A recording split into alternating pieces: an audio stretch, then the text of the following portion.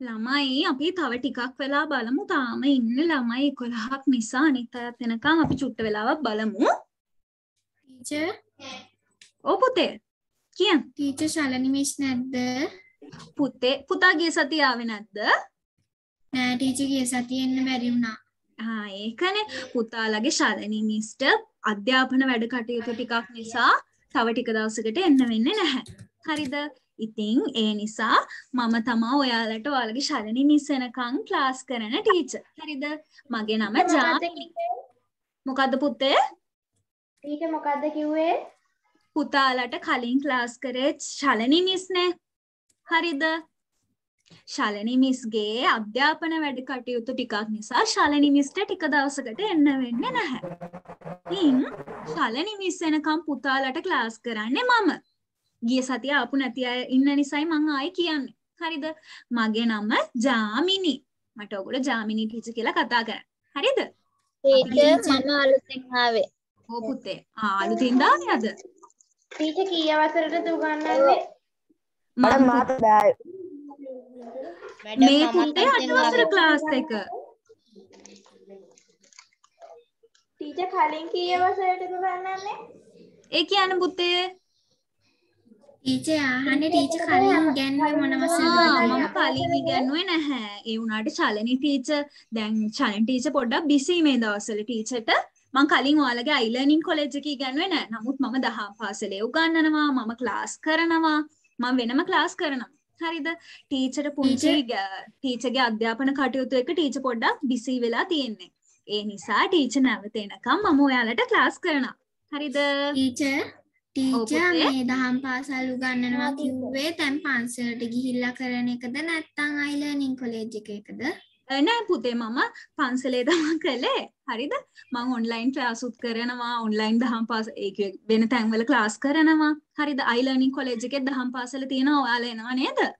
පුතේ මේ හා ඒක තමා හරිම හොඳයි පුතේ අද දැන් දෙතුන් දෙනෙම කිව්වනේ අද අලුතින් ආව කියලා. ඔයාලට මිස් වෙච්ච පාඩම් ඔයාලට මගේ අරිච්ච නෝට්ස් ඒවා අයිලර්නින් කොලෙජ් එකේ වෙබ්සයිට් එකේ තියෙනවා තව ඔයාලා ඇප් එක ඩවුන්ලෝඩ් කරගෙන ඇප් එකකිනුත් ඔයාලට බලන්න පුළුවන්. හරිද? ඒක ඔයාලා දන්නව නේද? මොන හරි අ, පුතේ මම ගිය සතියේ පාඩම් පටන් ගත්තා. හරිද? ළමයි ගොඩක්. හිටියා. ඕ අද අලුතිනොත් ළමයි ඇවිත් තියෙනවනේ පුතේ මං එයාලට චුට්ටක් උඩින් මතක් කරගෙන යන්නම් අපි ගිය සතියේ මොනවද කරේ කියලා. හරිද? අපි දැන් වෙලාව 7යි 6යි. අපි තව විනාඩියක් බලලා පටන් ගමු. ළමයි 64ක් ඉන්නවා. විනාඩියක් බලලා පටන් ගමු. හොඳේ? ටීචර් ගිය සතියේ නෝට් ලිව්වද? ඕ අපි චුට්ටක් ලිව්වා. අපි පැහැදිලි කරපුවා. හරිද? ආ මං ඔයාලට අදත් කරනවා පාඩම. හරිද? කරනකොට මං ඔයාලට වැදගත් කරුණු ලියා ගන්න දෙනවා. හැමෝම අහගෙන ඉන්න. හොඳේ? වැදගත් කරුණු මම ලියා ගන්න දෙනවා. ඒ අලුත් පාඩමක්ද? නෑ පුතේ අපි පළවෙනි පොතේ අපිට තියෙන පාඩම් ටික අපිට අවුරුද්දක් තියෙනවනේ. අවුරුද්ද ඇතුළත අපිට කවර් කරන්න පුළුවන් සති දෙකකට එක පාඩමක් ගානේ කරලා. හරිද? ඉතින් පුතේ අද කරන්නේ පළවෙනි පාඩමේ ඉතුරු කොටස ඔයාලට හොඳට පැහැදිලි කරලා ඔයාලගේ ප්‍රශ්න වලට උත්තර දීලා හරිද? මේ එහෙම තමා කරගෙන යන්නේ.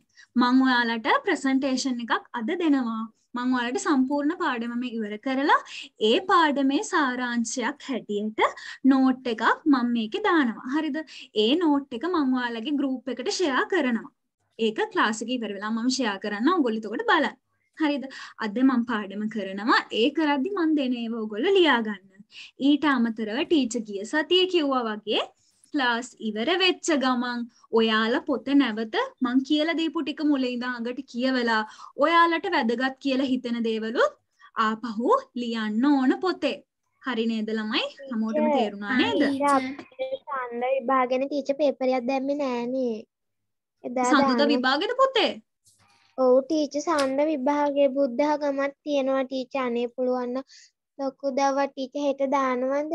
ආ හරි මං හෙට පේ- පේපරයක් දාන්නම් පුතේ. පළවෙනි පාඩම් ටිකෙන් තමයි ටීචර් තියෙනවා කිව්වේ. තියන්නේ. ඕ. මං අද මං ඔයාලට ගිය සතියේ ආවේ පුතේ මං ඒ නිසා දැනන් හිටියේ නැහැ ඔයාලගේ ශලෙන්. ශලෙන් මිස් මට කිව්වා. හරිද? මං ඔයාලට පේපරයක් දානවා ඔයාලගේ අට ශ්‍රේණිය මේ වාර විභාගෙ නේද තියෙන්නේ?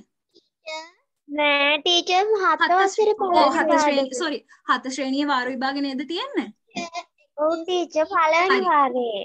ඕ පළවෙනි වාරේ මං ඔයාලට පේපරයක් දාන්නම්. එහෙම නැත්නම් ඕ පුතේ කියන්න. තුන්වෙනි වාරේ. අපේ ශලනි ටීචර් උගන්වන්න නැත්තේ. පුතේ ශාලනි ටීචර් ටීචර්ට ටීචර්ට එක්සෑම් වගේක් තියෙනවා. ටීචර් ඉගෙන ගන්න ඒවායේ වැඩ වගේක් තියෙනවා. හරිද? ඒ නිසා ටීචර් පොඩ්ඩක් බිසි හරිද? ටීචර් එනකන් මම තමයි පුතාලට උගන්වන්නේ. හරි නේද මම. ඔයාලට හෙට හත වසර මම ඔයාලට හෙට හත වසරෙන් ප්‍රශ්න ටිකක් දාන්න. එහෙම නැත්නම් ඔයාලට අද හත වසරේ පාඩම හරි හරි හොඳයි. ඔයාලට හරි you පුතේ. ඔයාලට හත වසරේ මොනවා හරි තේරෙන්නේ නැති දෙයක් තියෙනවා නම් හරි තේරෙන්නේ නැති ප්‍රශ්න තියෙනවා නම් හරි ඒ ප්‍රශ්නේ පුතේ ඔයාලා මට එකට දාන්න. මම ඔයාලට විනාඩි 10ක් දෙන්නම්. හත වසරේ දැන් ඔයාලට විභාගේ තියෙනවනේ. ඔයාලට හත වසරේ මොනවා හරි තේරෙන්නේ නැති පාඩමක් තියෙනවා නම් chat box එකට දාන්න. මම ඔයාලට ඒක කියලා දෙන්නම්. මොකද ඔයාලට වාර විභාගේ තියෙන නිසා. ටීචර් අද අපි හත වසරේ හත වසරේ පාඩම් ටිකක් සාකච්ඡා කරමුද? හා පුතේ ඒක තමා ඔයාලට තියෙන අමාරු ටික තියෙන්නේ ඒ අමාරු ටික chat box එකට දාන්න. ටීචර්ට පේනවා. හරිද? ටීචර්ට පේනවා ඒ ටික. ඔයාලා අමාරු පාඩ අමාරු කොටස් තියෙන ඒක chat box එකට දාන්න. ටීචර් එක සාකච්ඡා කරන්න. හරිද? එහෙම කරමු? ටීචර් අපිට තියෙන තුන්වෙනි වාරේ තුන්වෙනි වාරේ වාර පරීක්ෂණේ. තුන්වෙනි අනිත් වාරේ ඒවා. එතකොට තව පුතෙක්ට තියෙනවා කිව්වා පළවෙනි වාරේ වාර පරීක්ෂණය. හරිද ඒ වගේ හැමෝටම තියෙන්නේ වෙනස් වෙනස් විදිහටනේ. ඒ නිසා පුතේ ඔයාලට තියෙන අමාරු පාඩම්. ආ පළවෙනි පාඩම කියලා දෙතුන් දෙනෙක්ම දාලා තියෙනවා. හරි. පාඩම් කීපයක්ම දාලා තියෙනවා. මම තව විනාඩි 10ක් දෙන්නම්. හොඳ පුතාලා වගේ හත වසරේ පොත පෙරලලා බලන්න. විභාගෙට එන ටික තියෙනවානේ.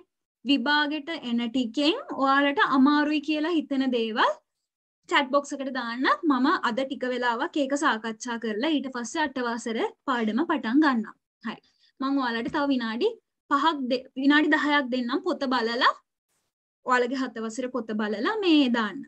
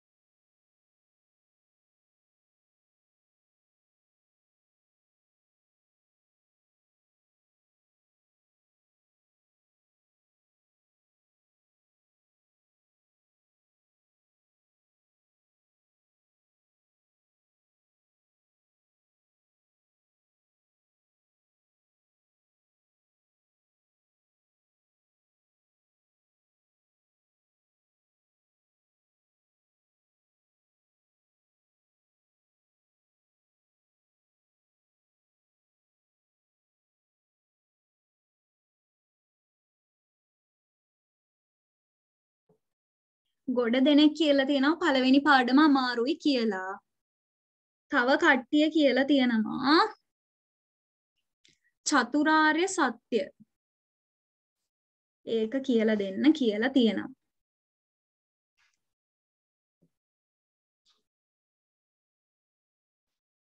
තව තියෙනවා නවවෙනි පාඩම අමාරුයි කියලා ගොඩ දෙනෙක්ට.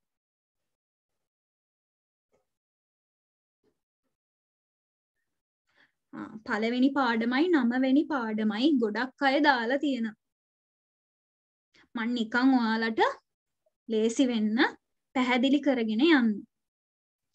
හරි. තව විනාඩි දෙකක් දෙන්නම් පුතේ තියෙන ප්‍රශ්න දාන්න. පාඩම විතරක් නෙමෙයි ඔයාලට ගැටලු තියෙන තැන් නම් කරන්න පුළුවන් නම් එහෙමත් දාන්න පුතේ. එතකොට ලේසියිනේ. ආ චතුරාර්ය සත්‍ය පාඩමත් අමාරුයි නේද ගොඩක් අයට 16 වෙනි පාඩම. හරි. එහෙනම් අපි දැන් කරමු ඒක.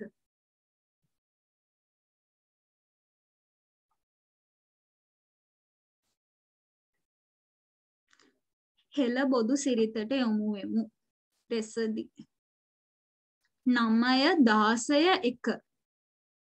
මෙන්න මේ ටික තමා හැමෝම අහන්නේ.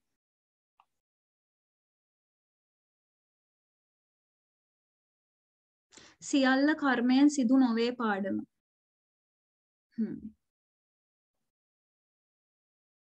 හරි පුතේ එහෙනම් අපි දැන් මේ පටන් ගමු කරන්න. මං ඔයාලට හරි පුතේ දැන් ගොඩක් අය chat එකේ දාලා තියෙන ටීචර් පෙන්න පළවෙනි පාඩම අමාරුයි 15 වෙනි පාඩම අමාරුයි 16 වෙනි පාඩම අමාරුයි 9 වෙනි පාඩම අමාරුයි කියලා.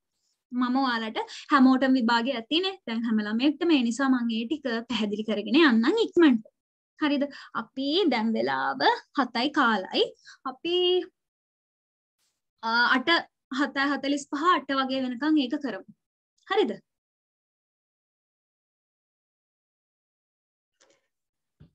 මේ තියෙන පුතේ පළවෙනි පාඩම හත වසරේ මම ඔයාලා අමාරුයි කිව්ව පාඩම් ටික විතරක් කරගෙන යන්නම්. ඒ අතරට ගැටලු තියෙනවා නම් ඔයාලා කියන්න. හරිද මම ඔයාලට මතක් කරගෙන යන්නම්. හොඳයි. පළවෙනි පාඩමේ තියෙන පුතේ හත වසරේ මට පුතේ අඳින්න එපා හරිද? හැමෝම ඉගෙන ගන්න තැනනේ මේක.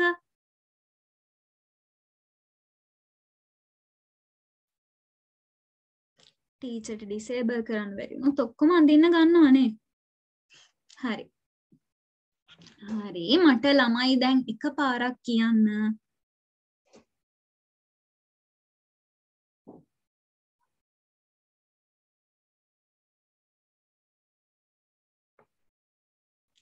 ළමයි මං එකයි පහයි එකයි පහළවයි නමයයි දාසයයි කරන්නේ.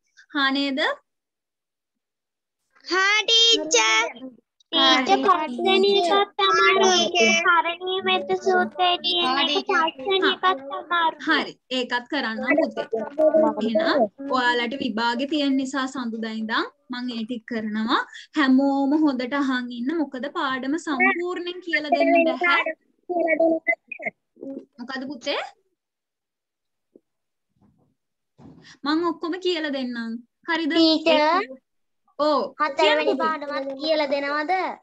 හරි. මං උඩින් උඩින් සේරම ටික කියලා දෙන්නම්. මොකද පුතේ හත්වෙනි හත වසරේ පාඩම් ටික කරලානේ තියෙන්නේ. හරිද? මේ අට වසරනේ. මං ඔයාලට හැමදේම ෂෝට් විදිහට කියලා දෙන්නම්. මොකද ඔයාලට එක්සෑම් ළඟ නිසා. මං හෙට ඔයාලට මේ පේපර් එකකුත් දාන්නම්. හරි. ඔන්න දැන් මම පටන් ගන්නවා. මැඩම් ඕ පුතේ කියන්න. 17 වෙනි පාඩමත් තමයි හරි මං කියලා දෙන්නම්.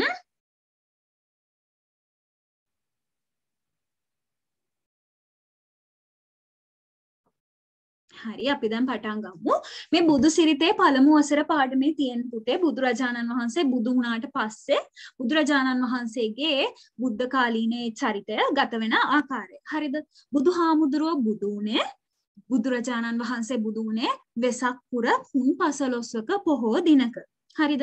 ඊට පස්සේ බුදුරජාණන් වහන්සේ බුදු වුණාට පස්සේ ගත කරන පළවෙනි සති හත තියෙනවනේ පුතේ.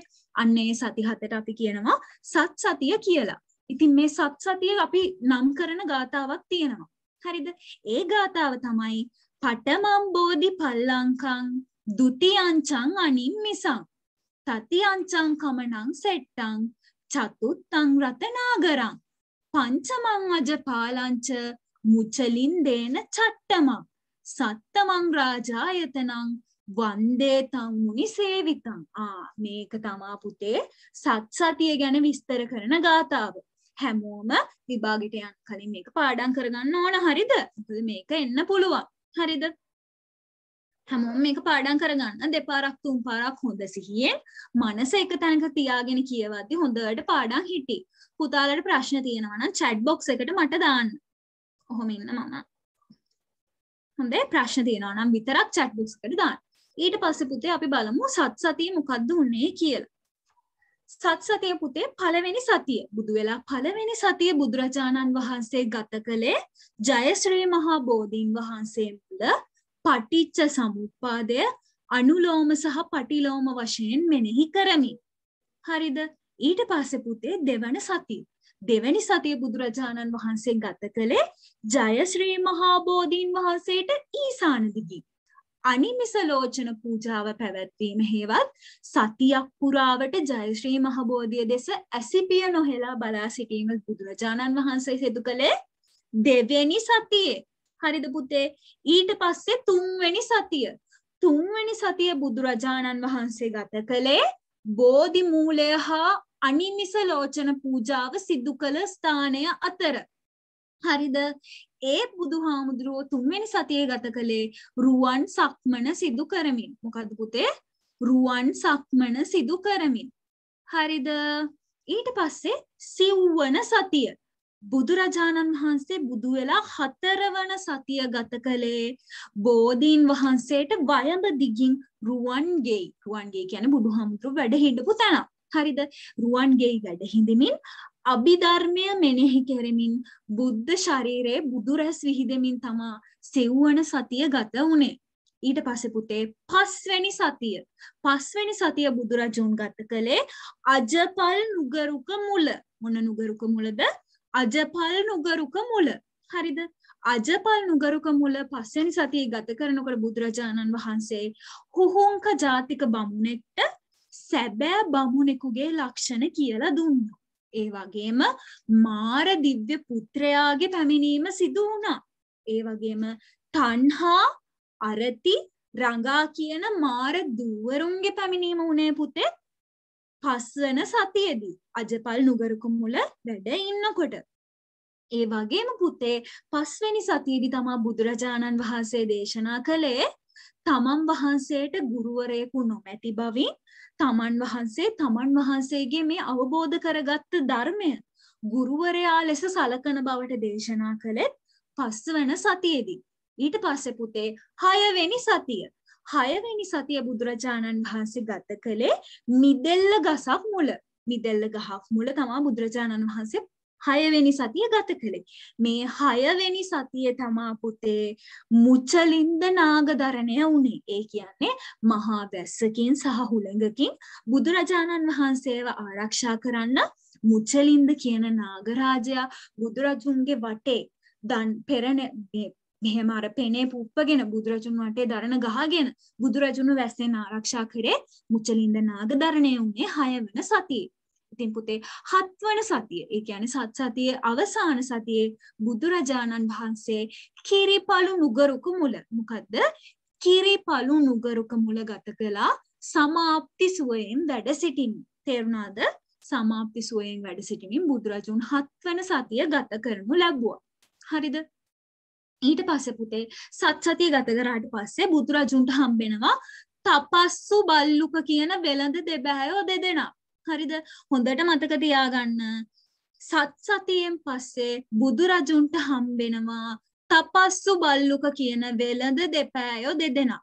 මේ දෙන්න බුදුරජාණන් වහන්සේට පූජා කරනවා මොනාද පුතේ? අත්සුණු සහ මීපිඩු අත්සුණු සහ මීපිඩු ඊට පස්සේ පුතේ බුදුරජාණන් වහන්සේ මේ වෙළඳ දෙබෑයන්ට දෙනවා උන්වහන්සේගේ කේශ ධාතු. බුදුරජාණන් වහන්සේගේ කේස් දන් දෙනවා. හරිද ඒ දෙන්නේ තපස්සු බලුක් කියන වෙළඳ දෙබෑයන් දෙදෙනාට වන්දනාමාන කරන්න හරිද ඉතින් පුතේ මේ බුදුරජාණන් වහන්සේගෙත් බුදුරජාණන් වහන්සේ අවබෝධ කරගත්ත ධර්මයේ ඒ දහම් සරණත් බුදුන් සරණත් ගිය පළමු උපාසකවරු දෙන්න තමා මේ තපස්සු බල්ලුක කියන වෙළඳ දෙබෑයෝ දෙන්න. තිසරී ප්‍රශ්නයක්ද දුව? රේස් හැන්ඩ් කරාද පුතේ? නැන්ද හරි හරි. හරි පුතේ හරි. කාට හරි ප්‍රශ්නයක්ද? නෑනේ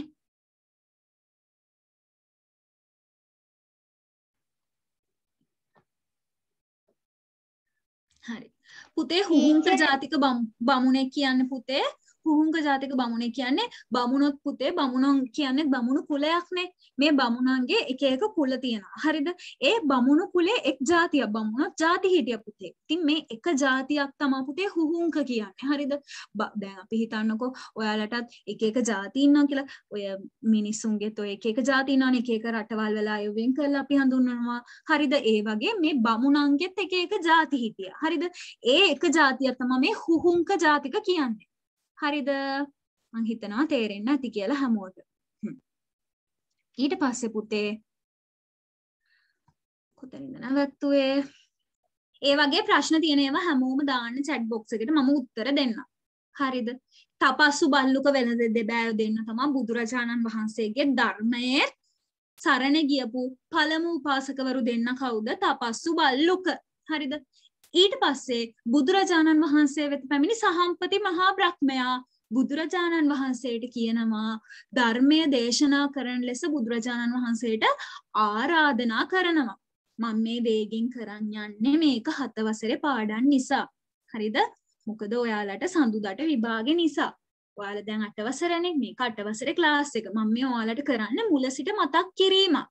ඔයාලගේ විභාගෙට ලේසි වෙන්න මුල සිට මතක් කිරීමක් තමයි මේ කරන්නේ. හරිද? ඒ නිසා තමා මෙහෙම කියවගෙන කියවගෙන යන්නේ.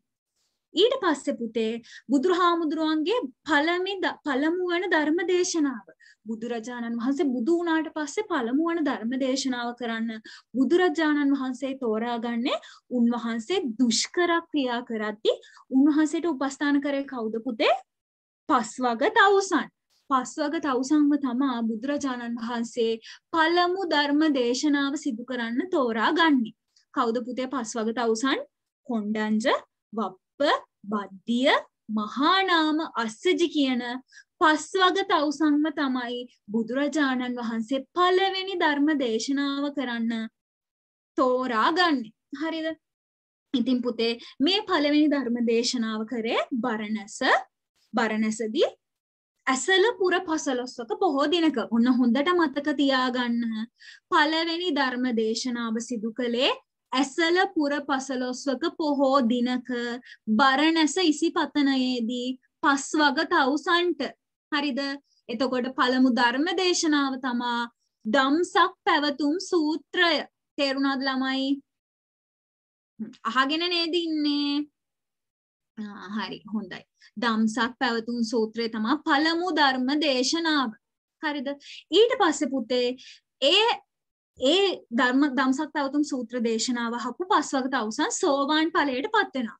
නමුත් පස්වග තවුසන්ව රහත් ඵලයට පත් වෙන්නේ අනන්ත ලක්කන සූත්‍රය දේශනාව ඇහුවට පස්සේ.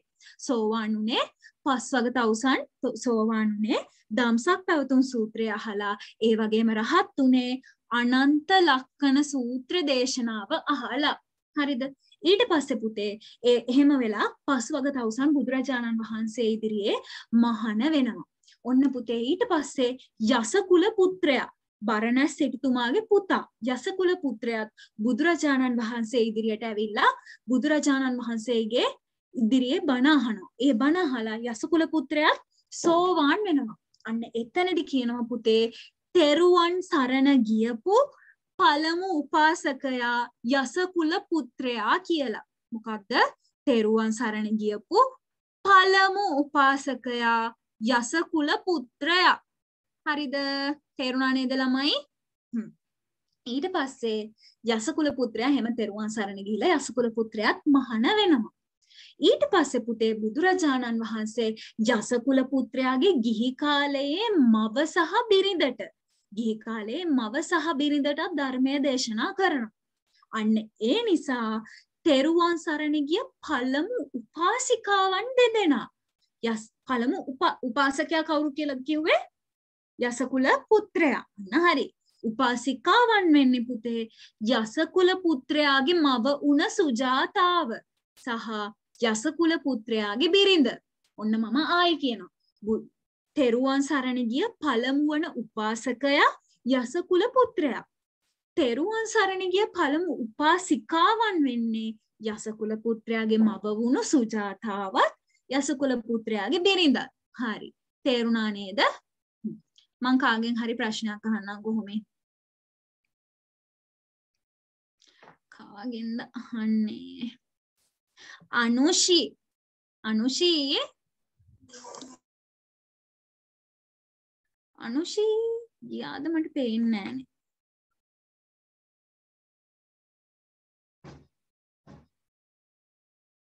ආ හරි. අනුෂි දුව. ඔව් ටීචර්. ආ මට දුව කියන්න බලන්න. බුදුරජාණන් වහන්සේගෙන් බණ අහලා තෙරුවන් සරණ ගියපු පළමු උපාසකයා කවුද? යසකල පුත්‍රයා අන්න. හරි. හොඳ පුතා. you. ඊළඟ ප්‍රශ්නේ මම අහන්නේ අයෝද් ඉඳුවර. අයෝද් ඔව්. පුතා මට කියන්න බලන්න. තෙරුවන් සරණ ගිය පළමු උපාසිකාවන් කවුද කියලා? යසකොල පුත්‍රයාගේ මව සහ බිරිඳ. අන්න හරි. හොඳට පාඩම අහන් ඉඳලා අපි එහෙනම් ඊළඟ ටිකට යමු. ඊට පස්සේ පුතේ ඔන්න දැන් පස්වග තවුසන් මහණ වුණා. යසකුල පුත්‍රයා මහණ වුණා. හරිද? ඊට පස්සේ යසකුල පුත්‍රයාගේ හොඳම යාළුවෝ හතර දෙනත් ඇවිල්ලා බුදුරජාණන් වහන්සේ ඉදිරියේ මහණ වෙනවා. ඒ යාළුවෝ හතර දෙනා තමා විමල සුබාහු පුන්නජි ගවම්පති. කවුද? විමල සුබාහු පුන්නජි ගවම්පති. හරිද? ඒ හතර දෙනත් මහණ වෙනවා. ඊට පස්සේ එයාලත් බණහලා සෝවාන් වෙනවා. පස්සේ තවත් යහළුවන් හැට දෙනෙක්. යසකුල පුත්‍රාගේ තව යහළුවෝ හැට දෙනෙක් ඇවිල්ලා මහණ වෙනවා.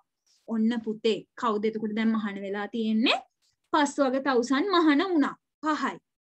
යසකුල පුත්‍රයා මහණ වුණා.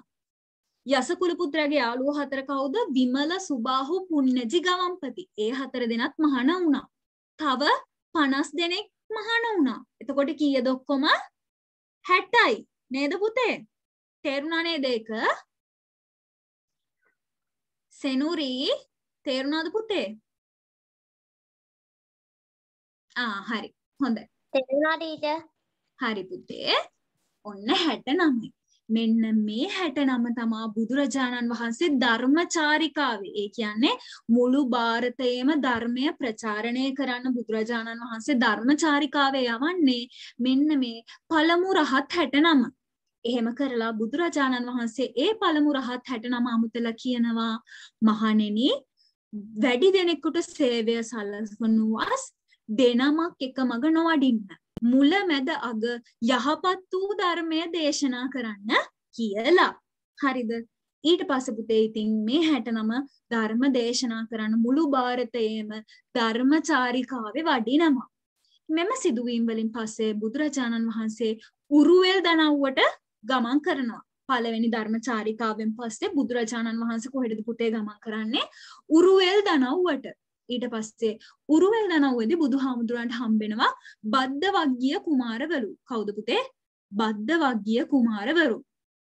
ඉතින් මේ බද්ද වග්ගිය කුමාරවරුන්ටත් බුදුහාමුදුරුවෝ ධර්මය දේශනා කරලා පැවිදි කරනවා. ඊට පස්සේ එතනදී බුදුහාමුදුරුවන් යටතේ මහණ වුණු ශ්‍රාවක පිරිස තව 30කින් වර්ධනය වෙනවා. ඔන්න මුලින් කීයක් හිටියද 60යි.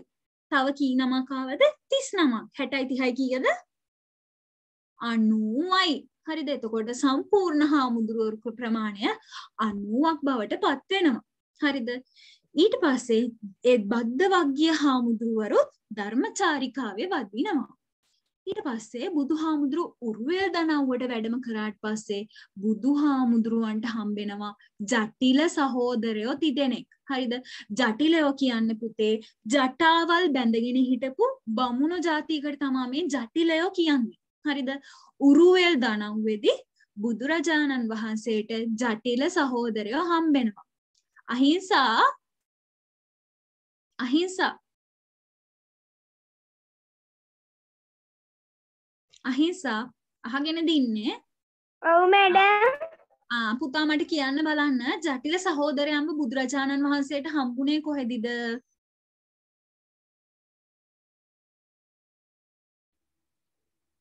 අහිංසා නැද්ද?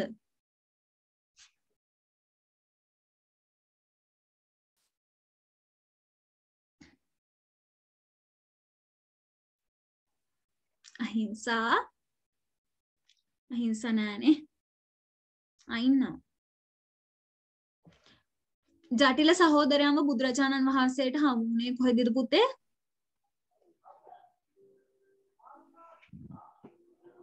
පොතේ තියෙනවා බල්ලා හරි කියන්න.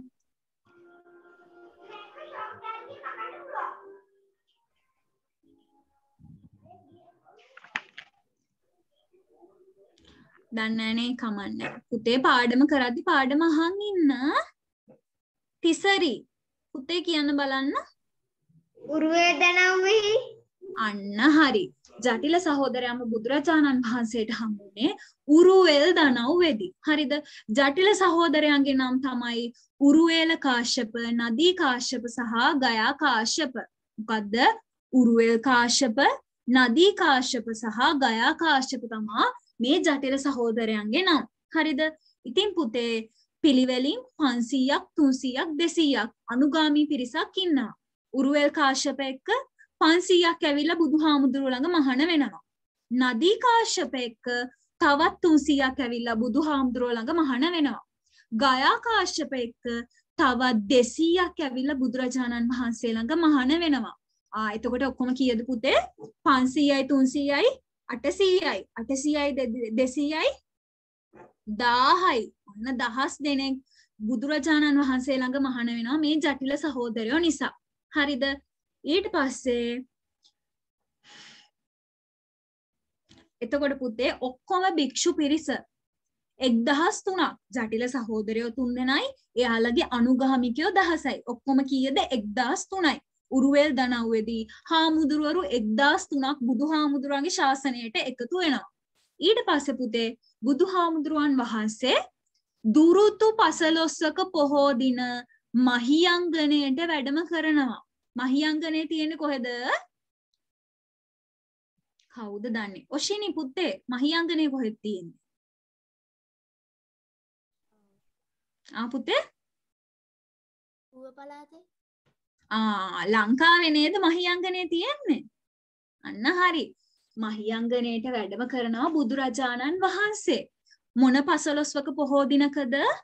දුරුතු පසලොස්වක පොහෝ දිනක බුදුරජාණන් වහන්සේ මහියංගනයට වැඩම කරනවා. ඇයි පුතේ වැඩම කරේ? යක්ෂ ගෝත්‍රික දෙපිරසකගේ සංග්‍රාමයක්. යුද්ධයක් වලක්වන්න හරිද? මොකද පුතේ? යක්ෂ ගෝත්‍රිකයන් දෙපිරසකගේ යුද්ධයක් වලක්වන්න බුදුරජාණන් වහන්සේ මහියංගනයට වැඩම කරනවා. හරිද? ඒ අවස්ථාවේ සුමන සමන් දෙවියන්. පුතාල දන්නවානේ සුමන සමන් දෙවිය. සුමන සමන් දෙවිය කියන්න පුතේ ඔය ශ්‍රී පාදස්ථානය තියෙන්නේ. බුදු හාමුදුරන්ගේ පාපත්තුල සිරිපතුල පිහිටලා තියෙන සිරීපාදේ. සිරීපාදයට අධිපති දෙවියෝ කියලා අපි කියන්නේ සිරි සුමන සමන් දෙවියන්. අන්න සුමන සමන් දෙවියනුත් මේ අවස්ථාවේ වැඩම කරනවා මහියංගනයට. ඒ වැඩම කරලා සුමන සමන් දෙවියන්ටත් බුදු හාමුදුරුවෝ කේශධාතු මිටක්. කෙස් මිටක් ලබා දෙනවා. අන්න ඒ කේශධාතු තැන්පත් කරලා තමා බුදු හාමුදුරුවෝ මහියංගනය දාගැබ බුදු හාමුදුරුවන්ට ඒදී බුදු හාමුදුරුවේ දීපු කේශධාතු වලින් තමා මහියංගන චෛත්‍ය හදලා තියෙන්නේ. ඔයාලගේ විභාගයට ආවොත් මහියංගන චෛත්‍ය තැන්පත් වෙලා තියෙන මොනවාද කියලා මොනවාද පුතේ බුදුරජාණන් වහන්සේගේ කේශ ධාතුන් හරිද ඊට පස්සේ බුදුරජාණන් වහන්සේ රජගහ නුවරට වැඩම කරනවා. ඊට පස්සේ පුතේ බුදුහාමුදුරුව රජගහ නුවරට වැඩම කරා කියලා දැනගත්ත බිම්බිසාර රජතුමා ඇවිල්ලත් බුදුරජාණන් වහන්සේව බැහැ දකිනවා.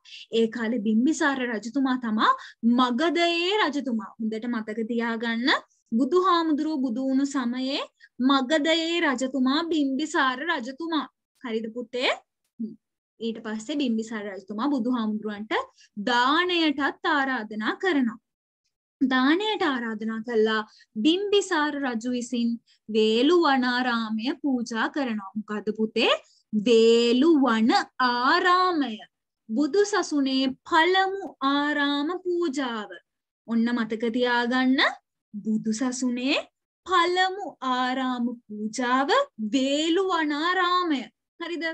වේලු වනාරාමය පූජ කළේ කවුද? බිම්බිසාර රජතුමා. අහන්නේද ඉන්න ළමයි. රෙසාදී පුතේ. රෙසාදී ඔව් ටීචර් ආ මට පුතා කියන්න බලන්න. බුදු සසුනේ පළමු ආරාම පූජාව මොකක්ද වේළුවනාරාමය ආ හරි. හොඳ පුතා. මට දැන් ගගන කියන්න බලන්න වේළුවනාරාමය පූජා කරේ කවුද? ගගන. බිම්බිසාරතුමා අන්න හරි. හොඳ පුතා. හරිද? එන්න ටික මතක තියාගන්න. ඊට පස්සේ පුතේ බුදුහාමුදුරුවන්ට හම්බෙනවා කෝලිය උපතිස්ස කියන පිරිවැජියෝ දෙන්න. කවුද පුතේ? කෝලිය උපතිස්ස කියන පිරිවැජියෝ දෙන්න හරිද? කෝලිත උපසිස්ස කියන පිරිවැජියෝ දෙන්න තමා පුතේ බුදුරජාණන් වහන්සේගේ අගසව් දෙනම බවට පත්වෙන්නේ ඒ කියන්නේ බුදුරජාණන් වහන්සේගේ අග්‍ර ශ්‍රාවකයෝ අගසව් කියන්නේ අග්‍ර ශ්‍රාවකයෝ බුදුරජාණන් වහන්සේගේ අගසව් දෙන වෙන්නේ කවුද පුතේ? ගිහි කල කෝලිය උපතිස්ස කියන දෙන්න. මේ දෙන්න මහණ වුණාට පස්සේ නම් දෙක තමා සැරියුත් සහ මුගලන්. මොකද්ද පුතේ සැරියුත් සහ මුගලන් පුතාලට මතකයි නේද සැරියුත් මුගලන් දෙන හිමින මහරහත් දෙනම මතකයි නේද හ්ම්. ඔන්න කෝලිය උපතිස්ස සැරියුත් සහ මුගලන් බවට අගසව් දෙනම ලෙස මහණ වෙනවා හරිද ඊට පස්සේ පුතේ අපි වැදගත් කරුණු විතරක් කතා කරමු නේද? ඔයාලට නැත්තම් මතිනේ පාඩම් සේරම කරගන්න බැරි වෙයි නැත්තම් අද. ම්,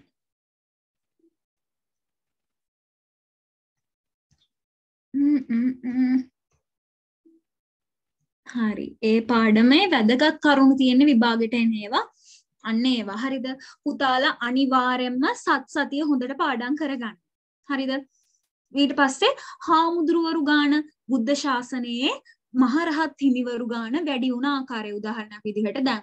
අ, මුලින්ම මහණුනේ පස්වග තවුසන් එතන පහයි. ඊට පස්සේ අසකුල පුත්‍රයා මහණ වෙනවා එකයි. පහයි එකයි හයයි ඊට පස්සේ අසකුල පුත්‍රයාගේ යාළුවෝ හතර මහණ වෙනවා. ඊට පස්සේ කීයද පුතේ 10 ඊට පස්සේ ඒ තව යාළුවෝ 50 දෙනෙක් මහණ වෙනවා. ඊට පස්සේ 60යි අන්න එහෙම ශාසනය වැඩි වෙච්ච හැටි හොඳට බලා ගන්න. පාඩම කියෙව්වහම ඒ ටික හොඳට තේරෙනවා.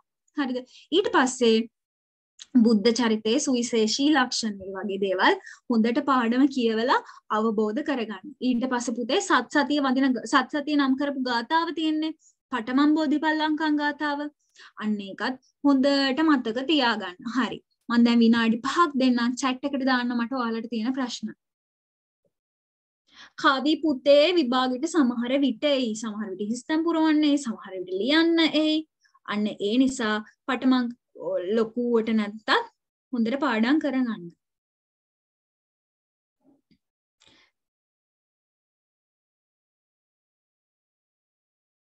ලෙක්ෂ. ඔයාලට තියෙන ප්‍රශ්න දාන්න පුතේ.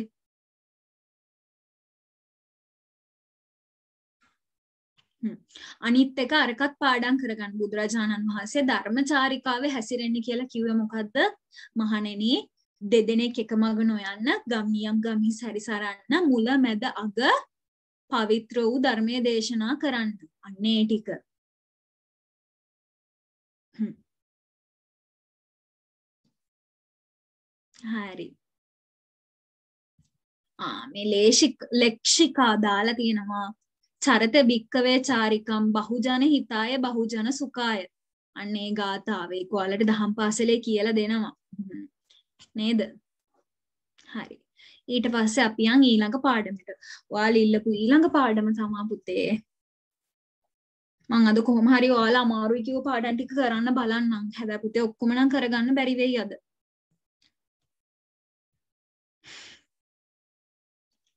ඔයාලා ඊළඟට ඉල්ලපු පාඩම. ඔහොම ඉන්න මං chat box එකේ බලන්න ඔයාලා අමාරුයි කිව්වේ ඒවා.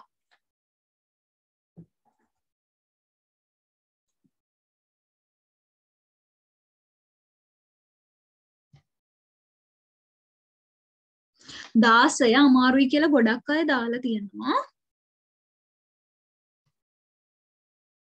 දොළහ දාසය දොළහ නමය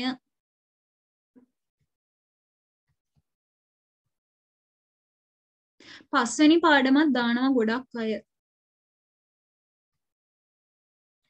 පුතේ කරණීය මත්ත සූත්‍රය එච්චර අමාරු දෙයක් නෙමේ. හරිද? හොඳේ. කරණීය මත්ත සූත්‍රය එච්චර අමාරු දෙයක් නෙමේ. හරිද? මේ කරණීය මත්‍ර සූත්‍රය කියන්නේ පුතේ මම කියලා දෙන්නේ පස්වෙනි පාඩම ගැන. ළමයි ගොඩක් ඒකත් අහලා තිබ්බ නිසා තමයි මම මේ පස්වෙනි පාඩම ගැන හරිද? පස්වෙනි පාඩමේ තියෙන පුතේ කරණීය මෙත්ත සූත්‍රය ගැන.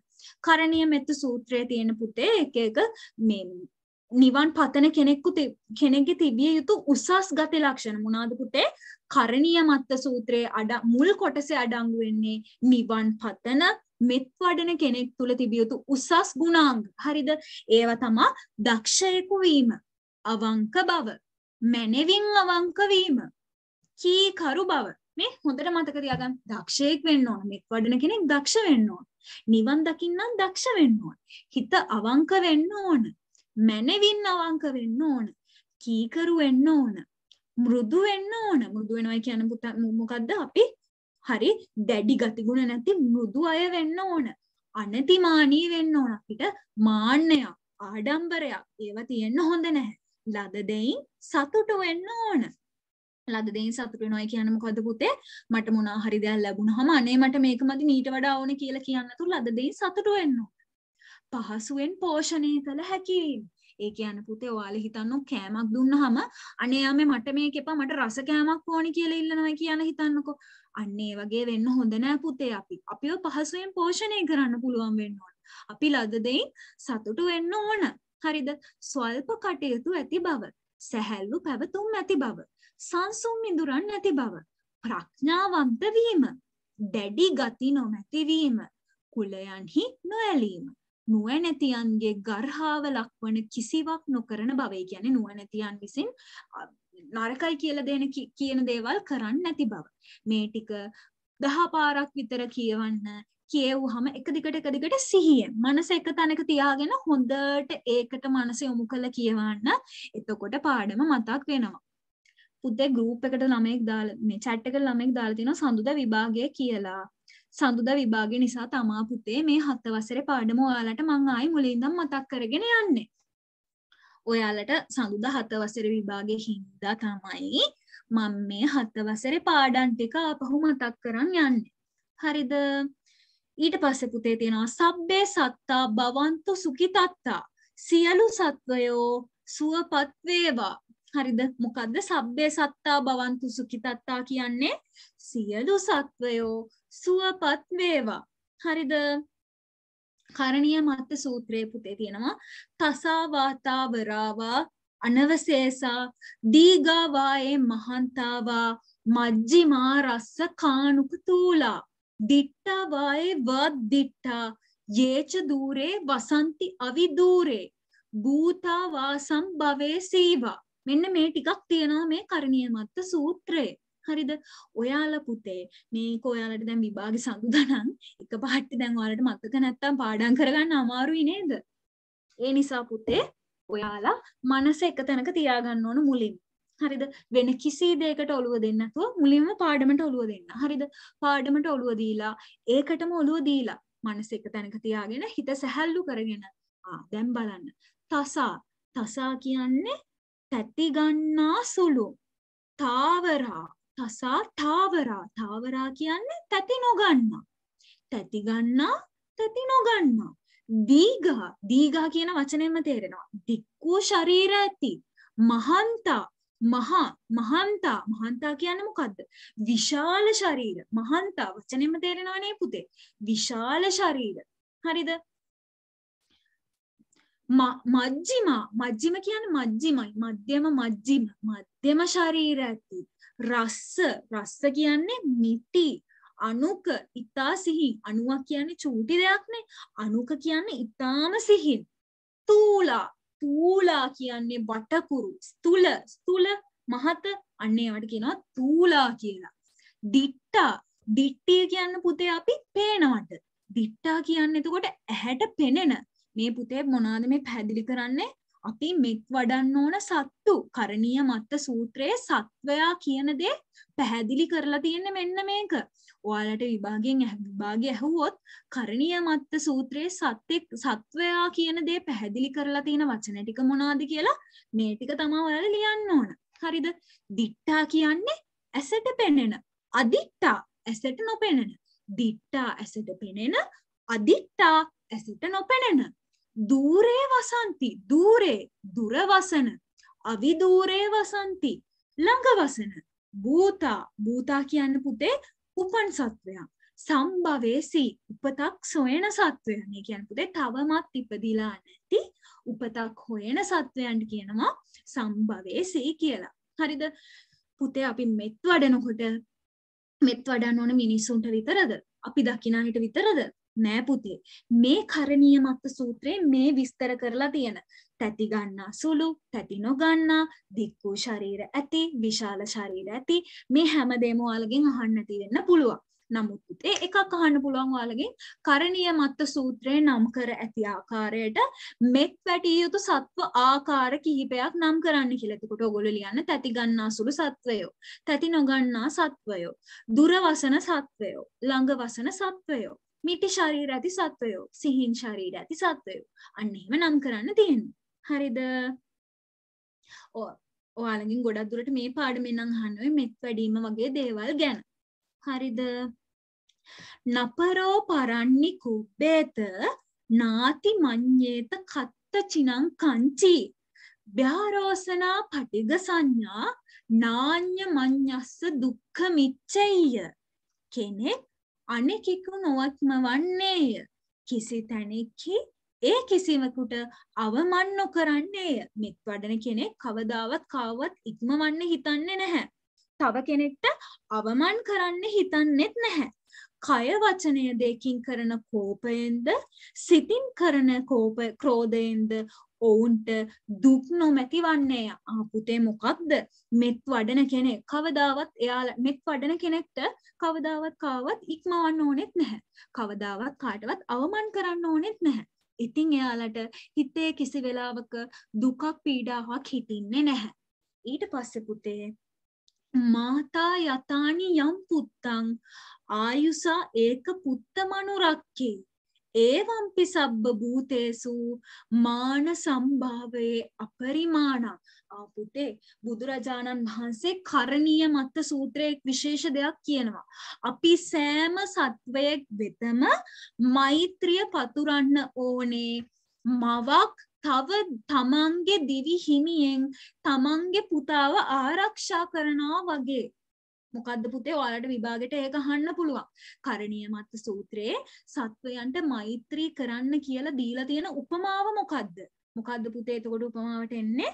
මවක් එකම පුතකු ඇති මවක් එම පුතුට එම පුතුව ආරක්ෂා කරන්නේ යම්සේද එසේම අප සියලු සත්වයන්ට මෛත්‍රී කළ යුතුයි. හරිද? මෙන්න මේක තමා මේ කරණීය මත්ත සූත්‍රයේ අඩංගු වෙන්නේ. හරිද? ඔයාලගෙන් ප්‍රශ්න අහන්න පුළුවන් පුතේ. ඉතින් මෛත්‍රී කරන එකෙන් අපිට ලැබෙන දේවල් අපේ අපිව දියුණු වෙන්නේ කොහොමද? මෛත්‍රී කරාම අපේ හිත එක්තැන් වෙනවා, අපේ හිත පිරිසිදු වෙනවා. හිත පිරිසිදු වුනහම අපේ රූපය ලස්සන වෙනවා, අපේ ලේ පිරිසිදු වෙනවා. අපිට හොඳට පාඩම් කරන්න පුළුවන් වෙනවා. ඔන්න ඔය වගේ දේවල් තමයි මේකෙන් අහන්න පුළුවන්. හරිද? මේ ටික පාඩම් කරන්න. තිට්ටං චරන් නිසින්නෝවා සයානෝවා යාව තස්ස විගත මිද්දෝ ඒතන් සතින් අදික්ටෙය බ්‍රහ්මමේතම් විහාරං ඉදමාහු. ආ මේ මොනාද පුතේ කියන්නේ? භාවනා කරන ඉරියව්. හරිද? සතර ඉරියව්. භාවනා කරන්න පුළුවන් ඉරියව් හතරක් තියෙනවා.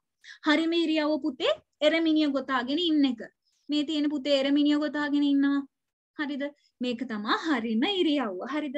කාන්ත ඒ පිරිමි පාර්ශවයට. කාන්තා පාර්ශවයට හරිම ඉරියව්ව අර්ධ පර්යංකය. බද්ධ පර්යංකය පිරිමි පාර්ශවයට කාන්තා පාර්ශවයට අර්ධ පර්යංකය.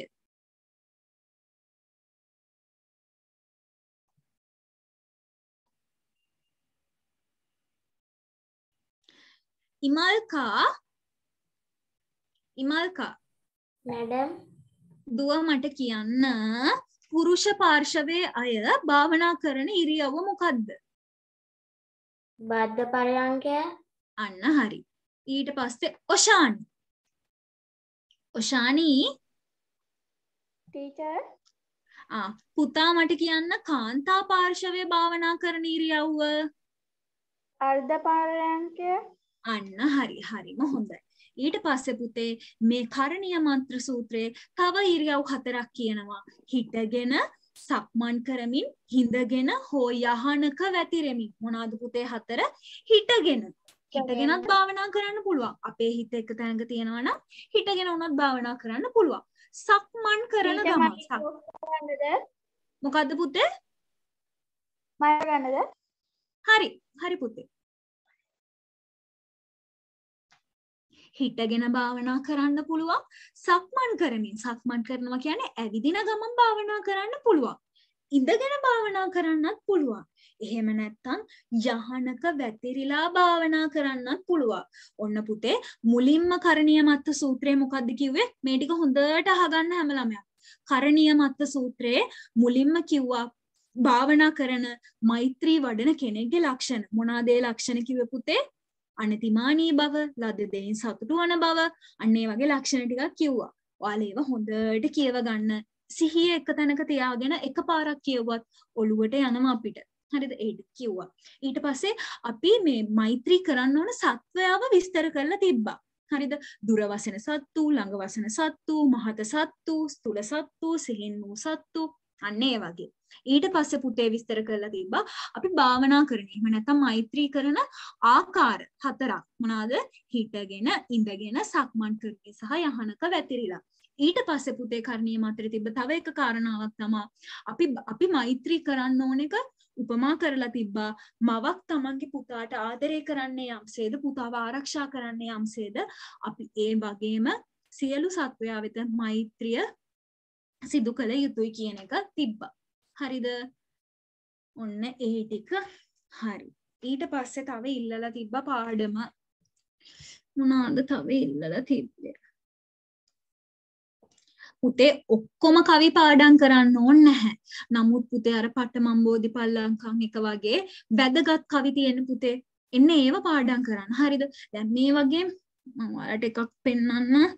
දැන් මේ මේ වගේ සාරාංශ එහෙම දාලා තියෙනවනේ කවි. ඒව නම් වැඩි එන්නේ නැහැ. නමුත් එකපාරක් විතර කියවගෙන යන්න. හරිද?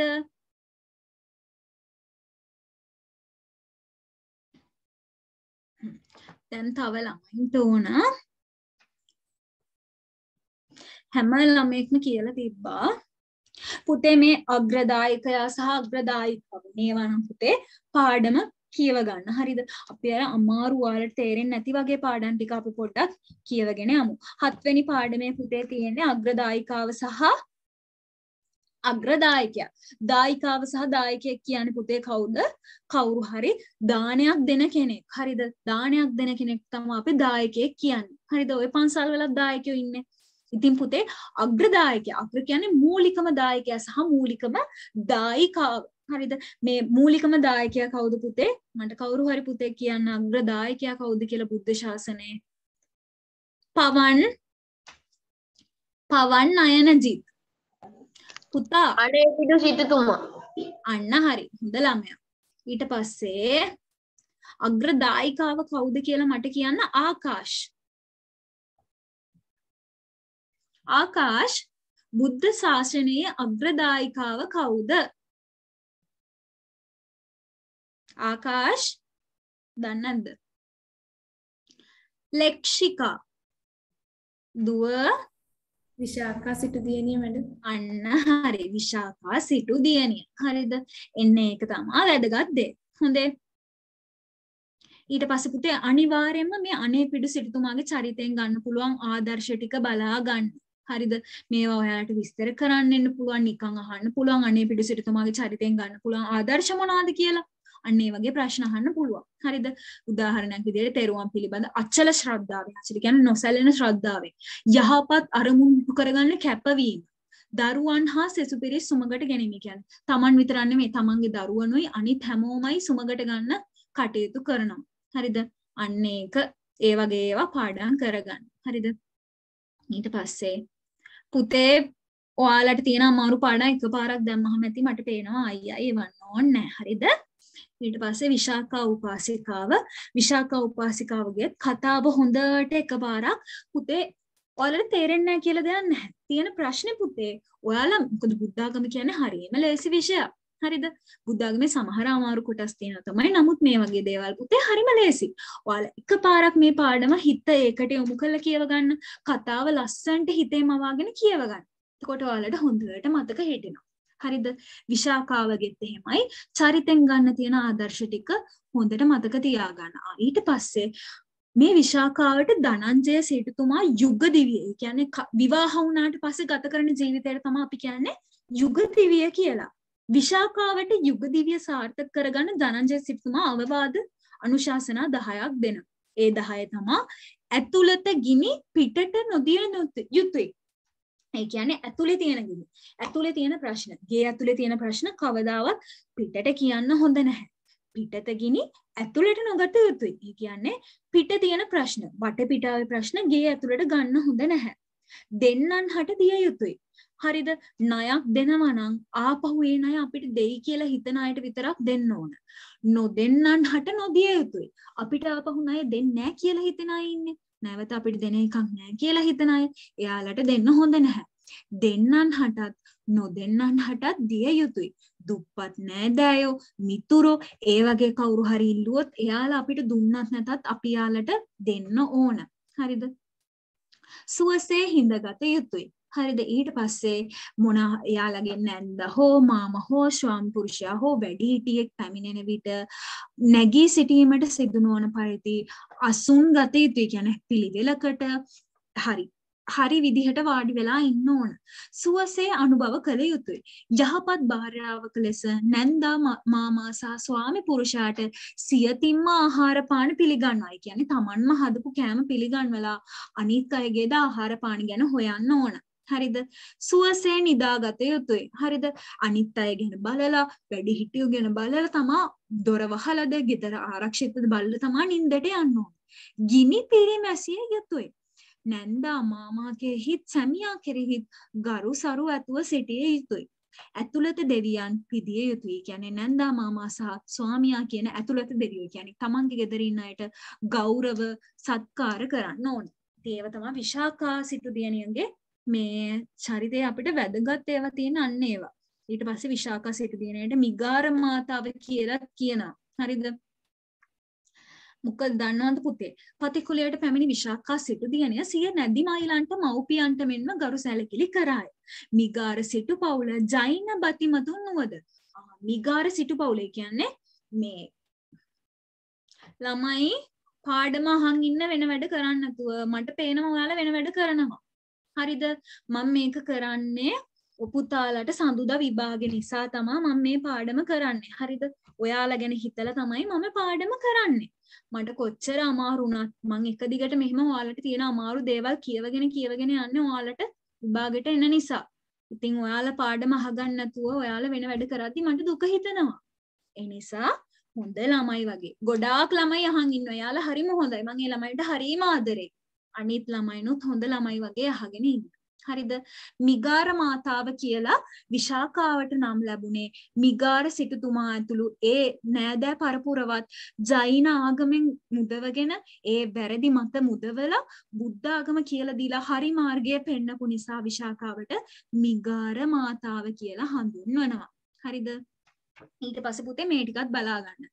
විශාකා උපාසිකාවගේ චරිතෙන් අපිට ගත හැකි ආදර්ශ මොනවාද පුතේ ගැහැන් ළමයෙකුට ගැලපෙන ඉරියව් පවත්වාගෙන යාම පුතාලට මතකද අර විශාකාව වැස්ස වෙලාවක අනිත් ගෑන් ළමයි හැමෝම දුවද්දී විශාකාව විතරක් ඇවිදගෙන යනවා. මොකද ගෑනු ළමෙක්ට එහෙම දුවන එක සුදුසු නැති නිසා ඒක ලස්සන නැති නිසා. හරිද? විශාකාව කොච්චර ලස්සන වුණත් රූපෙන් උඩඟු උනේ නැහැ. මාන්නයක් තිබ්බේ නැහැ. ආඩම්බර වුනේත් නැහැ. අන්න ඒ වගේ ධනය බලයෙන් ආඩම්බර වුනේ නැහැ. හරිද? බුද්ධිමත්ම තීරණ ගැන ක්‍රියා කිරීම. එන්නේ වගේ දේවල්. හරිද? ඊට පස්සේ පුතේ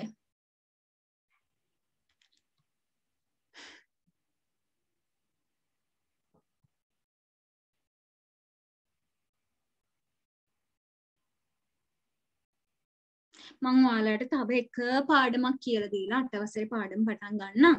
මොකද දන්නවද ළමයි? විභාග ඉවර වෙච්ච ළමයිනුත් ඉන්නවනේ. ඒ නිසා ඔයාලා අමාරුයි කිව්ව දේවල් ටික තමයි මම මේ කරන්නේ. ඔන්න දැන් මම පාඩම් තුනක් කළා.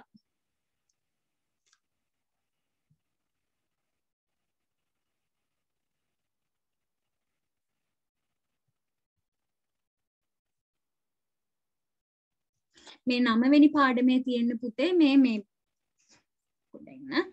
අෂ්ටමක සීලය හරිද ඒ කියන්නේ අටසිල් අටසිල් වල තියෙන්නේ පාණාති අපි ක- සාමාන්‍යයෙන් සමාදන් වෙන පන්සිල් තියෙන්නේ පන්සිල් පද පහ තියෙනවා නේද? ඒ පන්සිල් පද පහටම අලුත් තුනක් තව තුනක් එකතු වෙලා තමයි අටසිල් හැදෙන්නේ. පරුසා වාචා වේරමණී සික්ඛාපදං සමාදියාමි. සම්පප්පලාපා වේරමණී සික්ඛාපදං සමාදියාමි. මිච්ඡා ආජීවා වේරමණී සික්ඛාපදං සමාදියාමි කියන තුන එකතු වෙලා තමයි අටසිල් හැදෙන්නේ. පරුසා වාචා කියන්නේ පුතේ පරුස වචන කතා කරන්නේ නැහැ කියන සීලය සමාදන් වෙන එක. සම්ප්‍රප්පලාපා කියන්නේ සේ- මේ මේ හිස් වචන කතා කරන්නේ නැහැ කියන සිල්පදය සමා- සමාදන් වෙන එක. ඊට පස්සේ මිච්ඡා ආජීව වැරදි දිවි පෙරතෙන් මිදෙන සීලය සමාදන් වෙන එකට තමයි මිච්ඡා ආජීව කියන්නේ. ඊට පස්සේ ගොඩක් ළමයි ඇහුවා පාඩම 16 පාඩම් ටික හොඳට කියවගෙන විභාගෙට යන්න කිසි දෙයකට බය වෙන්න දෙයක් නැහැ. මොකද පොතේ තියෙන දේවල් වලින් අමතරව කිසි දෙයක් අහන්නේ නැහැ. බුද්ධාගම හරීම ලේසි පුතේ. පොත කියවගෙන යන්න හොඳට විභාගෙ ලියන්න පුළුවන්. ද ටීචර්ත් කියලා දීලානේ තියෙන්නේ. ඔයාලට ශලනි මිස් ගිය අවුරුද්දේ මේ පාඩම් කරන්න නැති හොඳට. ඒ මතකෙත් ඔයාලට තියෙනවනේ. ඒ නිසා බය වෙන්න නැතුව විභාගෙ ලියන්න. හරිද? මමත් හෙට ඔයාලට ප්‍රශ්න ටිකක් දාන්නම්. ඒවත් කරලා යන්න.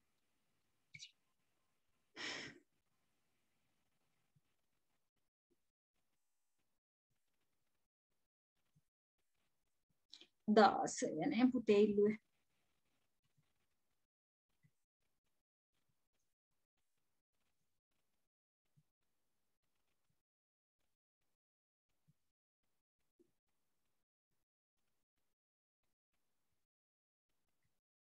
පුතේ 16 වෙනි පාඩමේ තියෙන ඉතින් චතුරාර්ය සත්‍ය. චතුරාර්ය සත්‍ය මොකද්ද? දුක්ඛාර්ය සත්‍ය, දුක්ඛ සමුදය සත්‍ය, දුක්ඛ නිරෝධාර්ය සත්‍ය, දුක්ඛ නිරෝධගාමිනී පටිපදාර්ය සත්‍ය. හරිද? දුක්ඛ ආර්ය සත්‍ය කියන්නේ මොකද්ද පුතේ? දුක්ඛ ආර්ය සත්‍ය කියන්නේ පුතේ දුකයි. මේ හැමදේම දුකයි. සසර දුකක්. හරිද? ඉපදීම දුකක්. සත්වයන්ගේ හට ගැනීම දුකක්. බිහිවීම දුකක්. මොකද පුතේ අපි ඉපදුනාට පස්සේ අපි ලෙඩ වෙනවා, අපිට කරදර වෙනවා, අපි නැවත නැවත ඉපදෙනවා. මේක දුකක්. හරිද? මහලු වීම දුකක්. ඊට පස්සේ රෝග පීඩාවට ලක්වීම දුකක්. මරණයට පත්වීම දුකක්. ප්‍රියයන්ගේ වෙන්වීම දුකක්. අපි කැමති නැති දේවල් ලැබෙන එක දුකක්.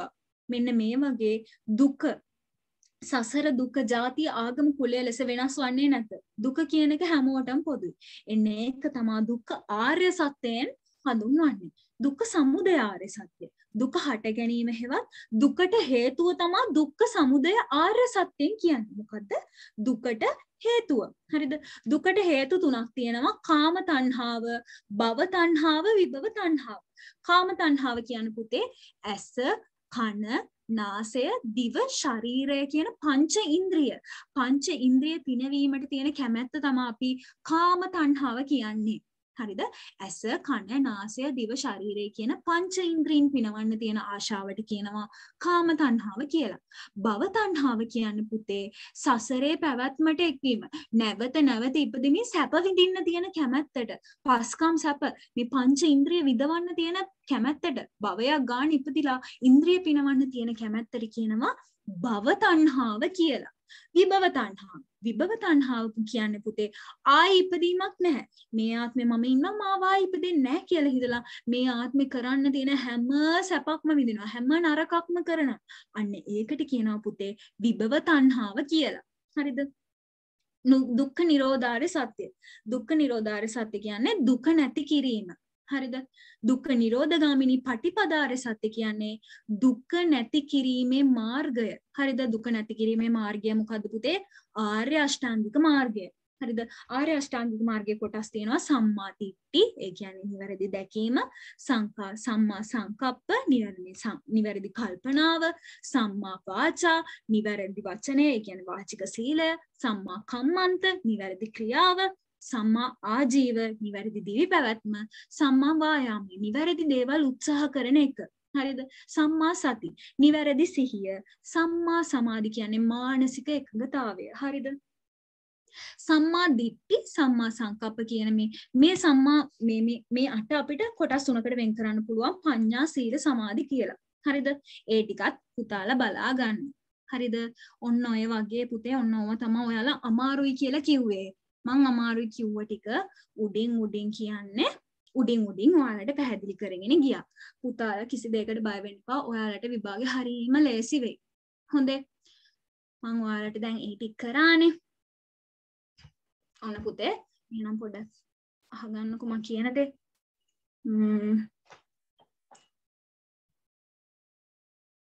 ඔන්න පුතාල මම මම ඇහෙනවනේ පුතේ. හරි.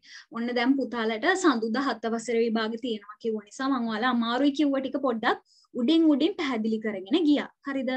නමුත් පුතේ දැන් අපි කරන්නේ අට වසරේ ක්ලාස් එකනේ අද. ඒ නිසා අපි දැන් අට වසරේ පාඩමට යමු. අද අලුතින් ආපු ළමයිනුත් ඉන්නවා. මම එයාලටත් එක්ක ගිය සතියේ කරපු එකක් චුට්ටක් පැහැදිලි කරන්නම්. ඊට පස්සේ අද අපි පාඩම තව විනාඩි අපිට තියෙනවා 25ක් විතර. ඊටු ටික අපි එහෙම කරගෙන යමු. අපි බලමු එහෙනම් දැන් අට වසරේ පාඩම එහෙනම් පටන් ගන්න. හරිද ළමයි?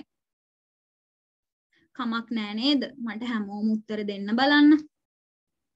කමක් නෑ නේ පුතේ. හරි. ඔයාලට කියලා හරි. කියලා දීපු ටික තේරුණා නේද පුතේ? හත වසරේ ඔයාලා අමාරුයි කිව්ව ටික. හරි. හරි. අපි එහෙනම් අට වසරේ පාඩම පටන් ගමු. මැඩම් අපිට සතියේ ආ සමහරුන්ට විභාගෙ තිබිලා නේද? මට එක්කෙනෙක් මැසේජ් එකක් දාලා තිබ්බා විභාගෙ තිබ්බා කියලා. අනිත් අයට නම් විභාගෙ තියෙන්නේ සඳුදාට. හරි. අපි එහෙනම් අට වසරේ පාඩම් පටන් ගමු. හොඳේ? මම පුතේ ගිය සතියේ ටිකක් කළා. මොකද ගිය සතියේ අපි ක්ලාස් එක පටන් ගත්තේ. අපි දෙව්දත් හාමුදුරුවන්ගේ පාඩම කළා. ඊට පස්සේ තව කරා මේ මොකද්ද පුතේ අනිත් කරපු එක? තෙරණි සසුන ආරම්භය. නේද? කාන්තාවන්ට පැවිද්ද ලබා දීම කළා. මම මේකේ PDF එකක් හැදුවා. ඔයාලට මම මේක දාන්නම් මේ ගෲප් එකට. ආ මේකේ මම ප්‍රශ්න ටිකක් දැම්මා. නමුත් ඔයාලගේ හිටපු නැතේ අයත් ඉන්නවනේ. ඒ නිසා ඔයාලට අද කරන්න බැරි වෙයි. ආ මේ තියෙන්නේ පුතේ මේ පින්තූරේ පේනව නේද හැමෝටම? ආ පුතේ මේ තියෙන්නේ මොකද්ද?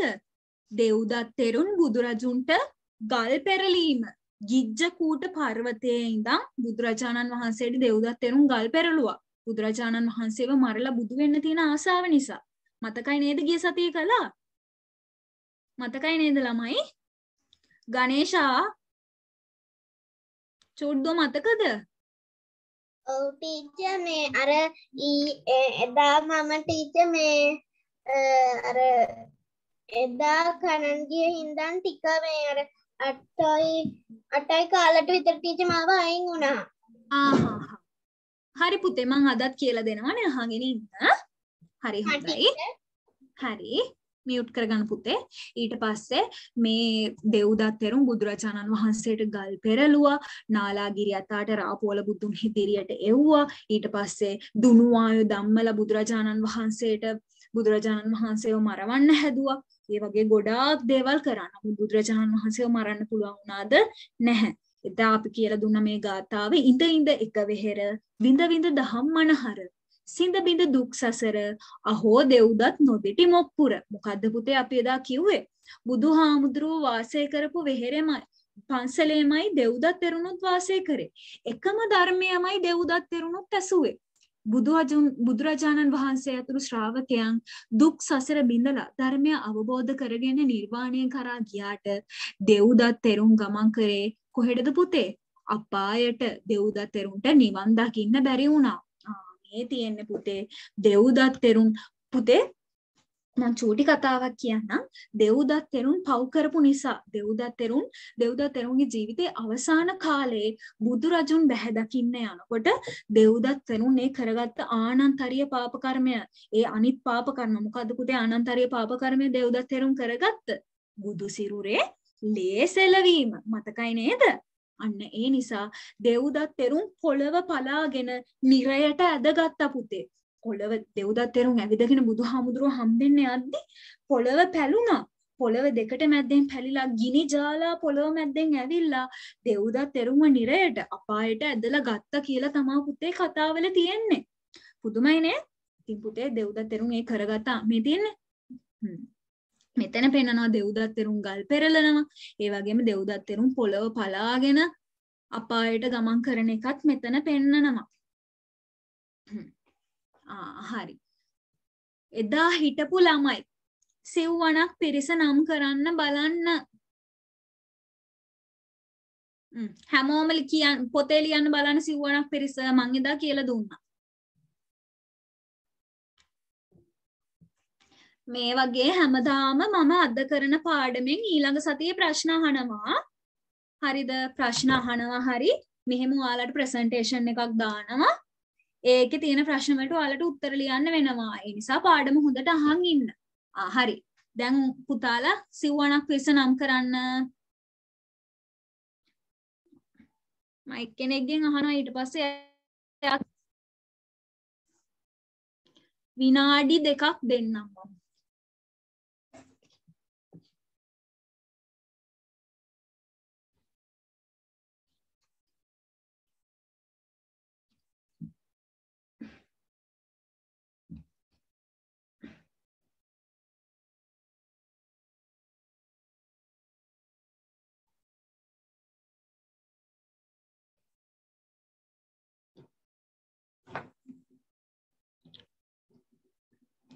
එසඳු වෙන වැඩද? එසඳු කෝ ගියාද?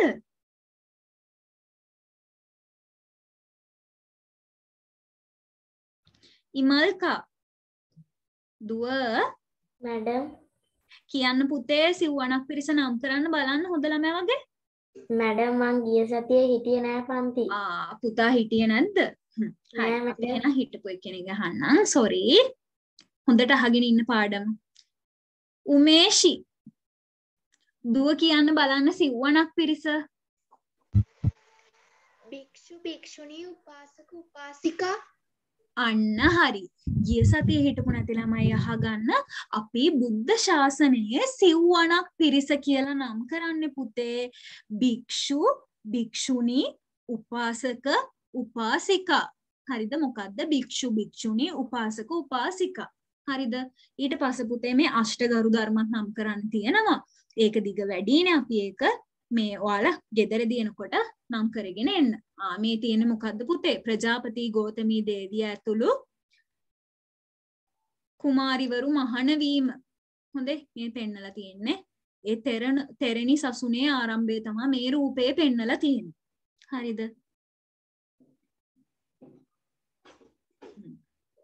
අපිට ඊළඟ පාඩම පටන් ගන්න වෙලාව මදි වගේ. මං ඒ නිසා කමන්න එකක් කරමුකෝ අපි විනාඩි අපිට තියෙනවා 14ක් වෙලාව ඇති. ආ ඊට පස්සේ පුතේ දැන් අපිට අද කරන්න ඔයාලට මාව පේන්නේ නැහනේ. sorry. අපිට දැන් අද කරන්න තියෙන්නේ චුල්ලපන්තක හිමියන්ගේ කතා පුවත. ආ මං ඒක පොතේ බලාගෙන නැතුව පුතාලට ලස්සන කතාවක් වගේ කියලා දෙන්න. හැමෝම අහගෙන ඉන්න ඕන හොඳේ. පුතේ මේ චුල්ලපන්තක හිමි කියන්නේ ඒ කාලේ හිටියා ධනවත් සිටුතුම. හරිද? මේ සිටුතුමාගේ පවුලේ කුමාරවරු දෙන්නෙක් හිටියා. හරිද? මේ කුමාරවරු දෙන්නගේ නම් තමා මහාපන්තකයි චුල්ලපන්තකයි. මහාපන්තක කියන්නේ අයියා, චුල්ලපන්තක කියන්නේ මල්ලි. හරිද? ඉතින් පුතේ මේ අයියයි මල්ලි දවසක් යනවා බුදුරජාණන් වහන්සේ බැහැ දකින්න. හරිද?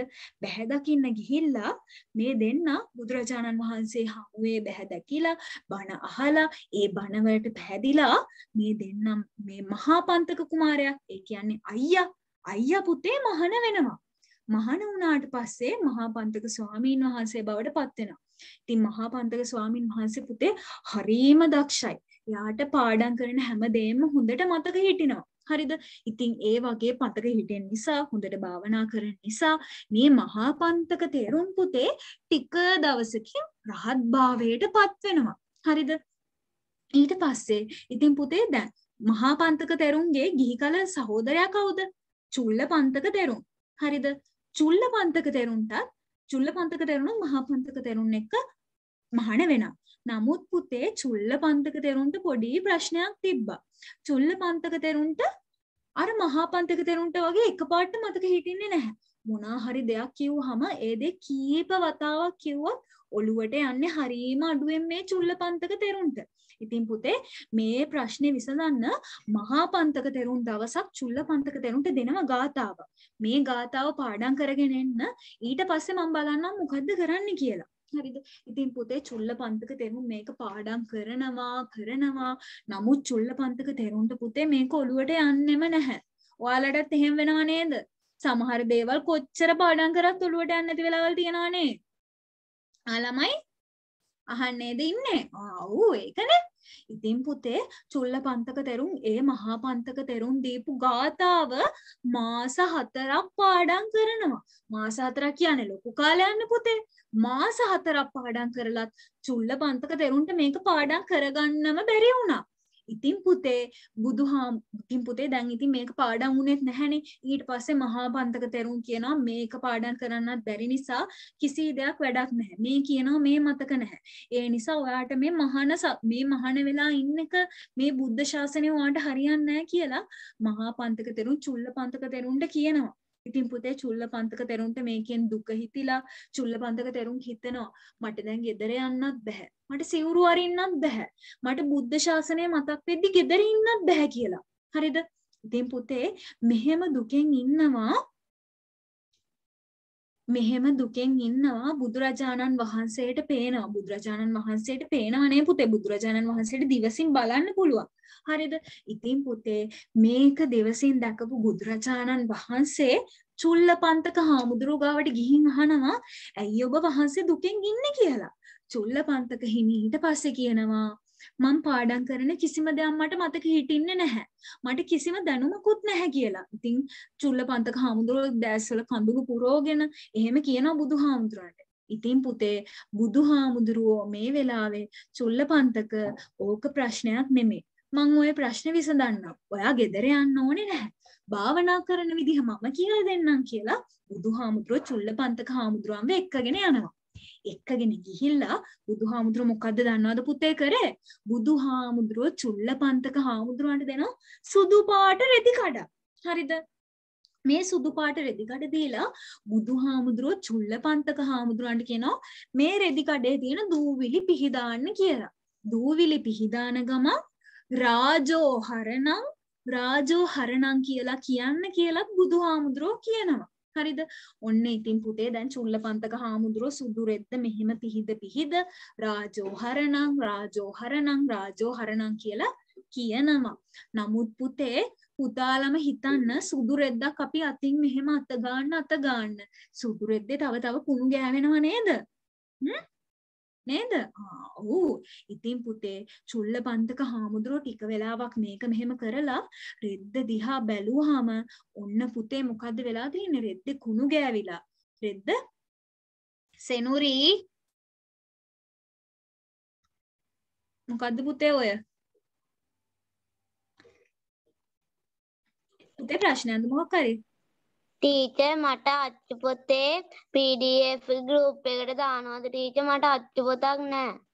ආ හරි මන්දා. ඇයි පුතා PDF එක ගත්තේ නැන්ද කලින්? නෑ ටීචර්.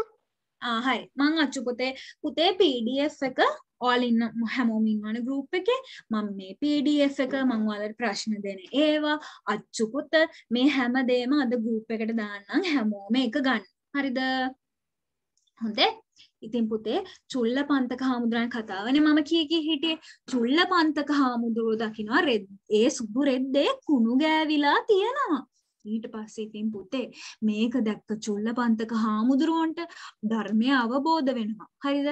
චුල්ල පන්තක හාමුදුරුවෝ තේරුම් ගන්නවා ටික ටික චුල්ලපන්තක හාමුදුරුවන්ට තේරුම් යනවා. භාවන් පුතේ අපි මොකක් හරි දෙයකට හිත එක්තැන් කරනවා නම් මොකක් හරි දෙයකට අපේ මනස යොමු කරනවා නම් ඒක පුතේ ඕනම දෙයක් භාවනාවක් වෙනවා. මනස එක්තැන් කරන ඕනම දෙයක් භාවනාවක් කරනවා. ඉතින් පුතේ මෙහෙම කරලා කරලා චුල්ලපන්තක හාමුදුරුවෝ ඒ රෙද්ද අතුල්ලපු දෙයින්ම චුල්ල පන්තක හාමුදුරුව ඉරිදි වඩලා ඒ ඉර්දිය වඩලා අරහත් භාවයට පත්වෙනවා පුතේ. හරිද? ඉතින් පුතේ මේ චුල්ල පන්තක හාමුදුරුවෝ ඉරිදිලාබී මොකද පුතේ ඉරිදි කියන්නේ?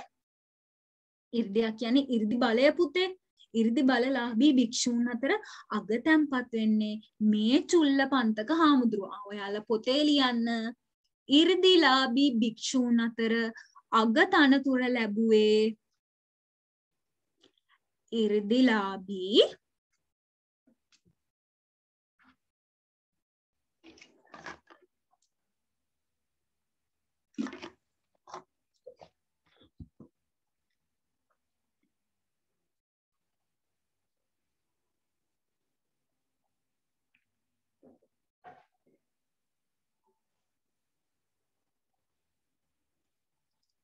ಇರ್ದಿಲಾಬಿ ಭಿಕ್ಷೂನ ತರ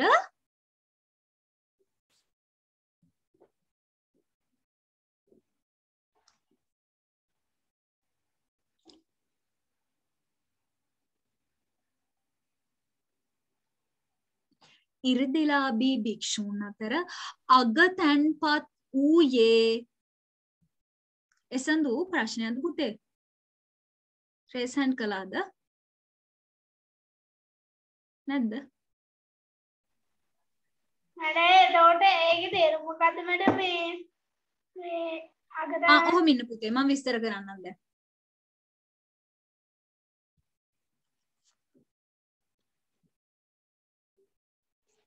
ඉරිදිලාබී භික්ෂූන් අතර අගතැන්පත් වූයේ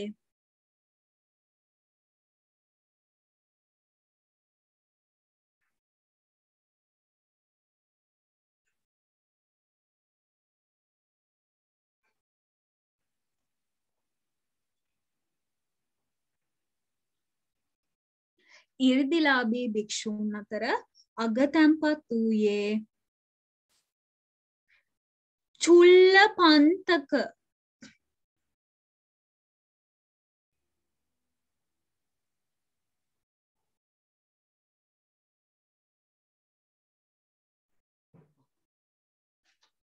චුල්ල පන්තක මහරහතන් වහන්සේය.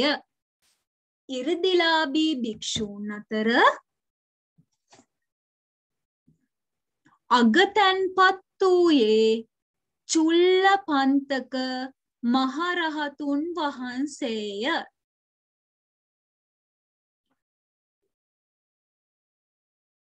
පුතේ මේ ඉර්දි බලය කියන්නේ ඉර්දිය කියන්න පුතේ උසස් වෙනවයි කියන එක. හරිද? හාමුදුරු නමක් භාවනා කරලා භාවනා කළ කරලා රහතුන් වහන්සේ නමක් මනස තමන්ගේ මනස උසස් කරන එක. මේ ඉරිදිය පුතේ බල පැවැත්වෙන මනසෙන්. සම්පූර්ණ මනසෙන් තමයි ඉරිදිය කියන දේ අපි රහතුන් වහන්සේලා පවත්ව ගන්න. පුතා අහලා තියෙනව නේද? ඔය ඉරිදියෙන් වඩිනවා කියන්නේ ඉරිදියෙන් වඩිනවා කියන්නේ පුතේ හාමුදුරුවෝ අහසින් වඩිනවා.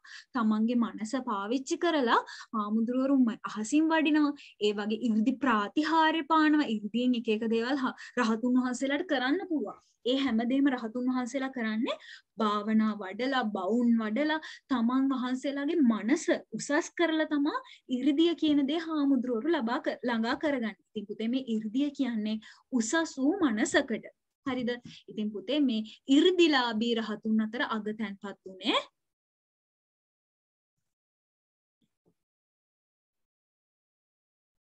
පුතේ චුට්ටක් ඉන්න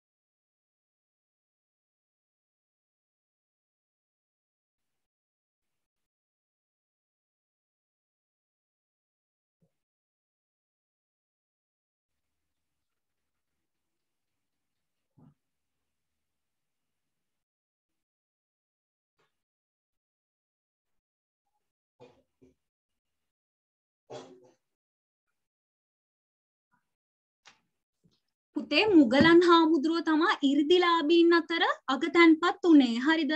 චුල්ල පන්තක හිමි තමා මනෝමය ඉරිදිලාබී හාමුදුරුවෝ අතර අගතැන්පත් උනේ. ඒක ඔයාලගේ අච්චු පොතේ නැහැ. හරිද? මං ඒක ඔයාලට කියන්න ඕන. ඒක මට සමාවෙන්න මං ඔයාලට ඒක කියන්න බැරි වුණාට. මුගලන් මහරහතන් වහන්සේ තමා ඉරිදිලාබීන් අතර අගතැන්පත් උනේ. පුතේ ඒක මගේ මගේ මගේ නෝට් එකේ තියෙනවා. ඔයාලගේ අච්චු පොතේ ඒක නැහැ. ඒ නිසා පුත්තේ ඒක ඔයාලා ලිව්වේ නැතත් කමක් නෑ. හරිද?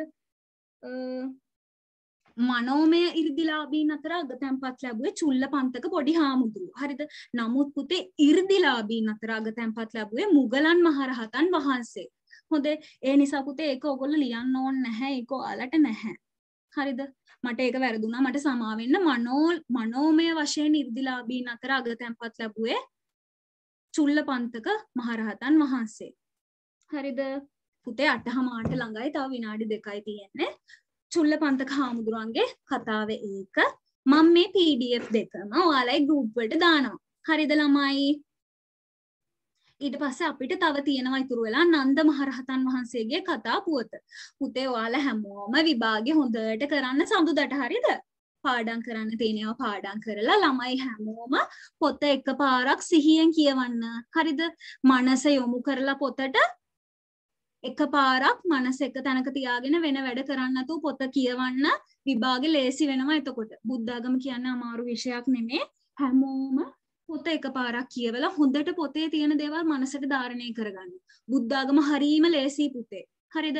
ඒ නිසා ඕගොල්ලෝ වැඩිය කලබල වෙන්නේ නැතුව, වැඩිය හිතන්නේ නැතුව, බය වෙන්නේ නැතුව බුද්ධාගම පොත හොඳට කියවලා, පාඩම් ටික මුලින්ම අගට කියවලා, එන පාඩම් ටික කියවලා විභාගෙ ලියන්න මම හැම පුතෙක්ටම සුබ පතනවා විභාගේ ලකුණු 100න් 100ම හැමෝටම ගන්න පුළුවන් වෙනවා. බුද්ධාගම නෙමේ අනිත් හැම විෂයක්ම එහෙම කරන්න. හොඳේ? අනිත් හැම විෂයම ලේසි වෙයි.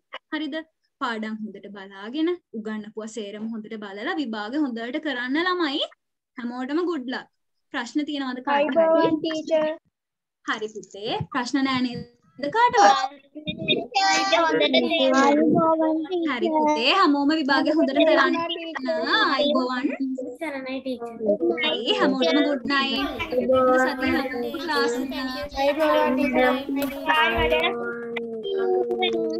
ගෲප් එකට පේපරයක් දානවනේ. ඕ පුතේ මම group එකට PDF උයි paper එකකුයි දාන්නම්. ඒක කරලා යන්න හැමෝටම luck. හරි පුතේ ලියුවෙන්. Thank you teacher අයබෝවන්. හරි අයිබෝන් ආයිබෝන් මැඩම්. හරි. අයිබෝන් අයිබෝන් ටීචර් අයිබෝන් ටීචර් ආයිබෝවන් පුතේ විභාග හොඳට කරන්න. ආ ටීචර් හරි. මං අදම දාන්නම් සේරම